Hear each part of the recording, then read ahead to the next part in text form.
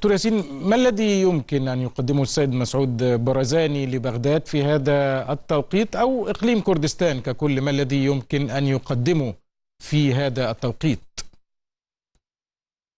شكرا جزيلا تحية طيبة لك سيدي ولضيفك الكريم ومشاهديكم. لا أعتقد أنه اليوم القضية الوضع في العراق آه، الأكثر من أزمة متشابكة وتحديدا اليوم الأزمة الكبيرة يعني في قضية تشكيل آه، الحكومة. آه، ابتعاد أنا في هذه اللحظة لا أستطيع أن أقول ابتعاد كردستان وإنما أقول ابتعاد أربيل. يعني تحديدا قد يخلق حالة أو يعني يطيل من من الأزمة. من هنا زيارة السيد مسعود برزاني. أعتقد أنه بالفعل ما المقصود بابتعاد دكتور؟ دعما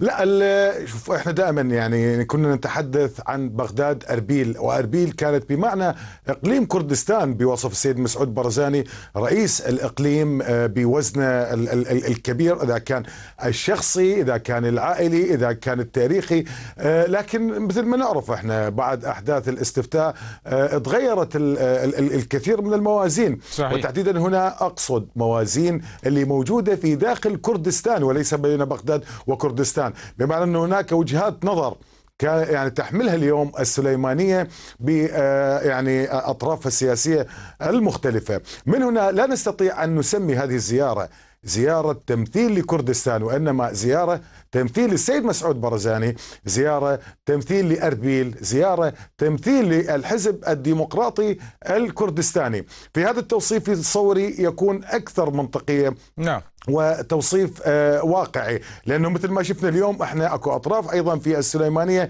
انتقدت هذه الزيارة صحيح أو اعترضت على هذه الزيارة وهذا يدلل على حجم ال ال ال الاختلافات اللي موجودة م. يعني ما بين إقليم كردستان تحديدا بعض الأطراف في السليمانية والسيد مسعود برزاني والحزب الديمقراطي بشكل عام نعم. لكن تبقى هذه الزيارة لها أهميتها آه، تحديدا بعد فترة الانقطاع آه، الطويلة بالفعل تعطي دعما آه، ودفعا لتشكيل الحكومة العراقية مع ذلك أنا أنظر إلى الزيارة بأكثر من وجه وهو هذا بالفعل دائما تكون هكذا زيارات بأكثر من وجه. لكن الوجه الأساسي اليوم في زيارة السيد مسعود برزاني هي أنه أربيل ما زالت آه، حاضرة أنه يجب أن لا يترك المركز آه، لصالح الأطراف أطراف السليمانية أكثر مما يعني لذلك يجب أن تكون أربيل حاضرة، الحزب الديمقراطي الكردستاني يجب أن يكون حاضر والسيد مسعود برزاني يجب أن يكون حاضر في هذا المنافسة نعم. وقضية تشكيل الحكومة.